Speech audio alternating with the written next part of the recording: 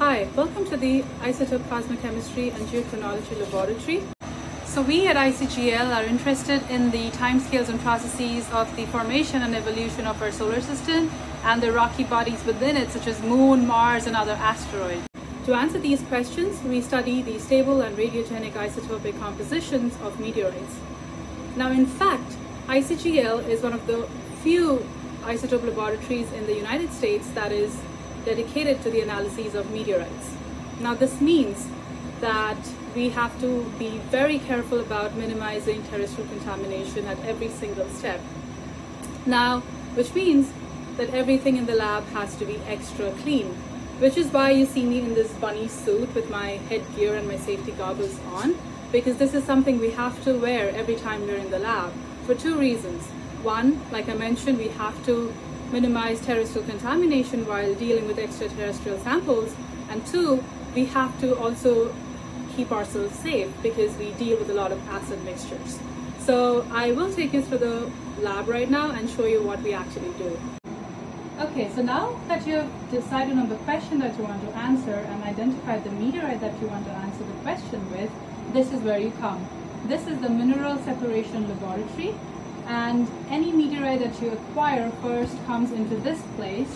So this space is dedicated to the cleaning and processing and preparation of the meteorite prior to its acid dissolution. So you would essentially clean it using an ultrasonicator and then you would, depending on what you want to do, you either pick your minerals or you micromill your samples, weigh them, powder them, and you know get it ready for uh, the solution. Now once you're out of the mineral separation lab with your sample all clean and prepped, you move on into the main lab right here. These are the uh, hot plate digestion uh, hoods where the samples that you have just prepared go into acid solutions and are digested uh, on, the, on these hot plates. And uh, depending on the mineral composition of your sample, either this is this, this is it and your sample is dissolved, or if you have a, a higher refractory content in your meteorites, then you would do a second step of digestion, wherein you would put these dissolved samples or partially dissolved samples into pressurized Parr jackets. And once you are um, satisfied that um, your meteorite sample is all it, properly dissolved, this is where you come in. So these are class 10 hoods where we uh, conduct our column chromatography to separate out the elements of interest. Now I mentioned class 10 hoods, which means that every cubic foot of this area within this hood contains about 10 or less particles. So that's how clean it has to be. And uh, the lab, uh, in general, for that matter, is a class 1000 lab. And we have separate uh, hoods for each uh, element that we are interested in and these are some of the uh, chromatographic hoods that we have. And like I mentioned, everything has to be super duper clean in here. And uh, this is uh, our acid lab. Distill and titrate our acids. Uh, there are multiple stages of distillation, again, to ensure everything is, all our acids are devoid of any terrestrial contamination and uh, we do not compromise on the quality of our data. Okay, now that you have uh, your element of interest separated out from the meteorite sample after column chromatography, this is where we take it.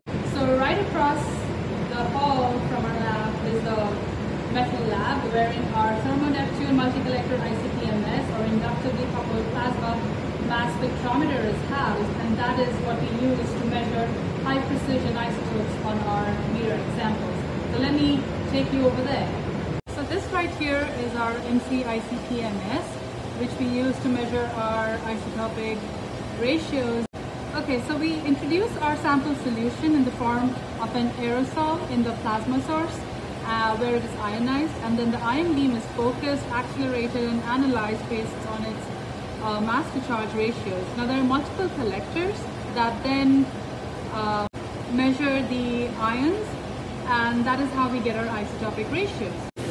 Now once we have our isotopic ratios, we can then answer the when and how of our solar system. So some of the questions that we're interested in is how old is the solar system or when did the first solids in the solar system form? What is the age of magmatism in the solar system?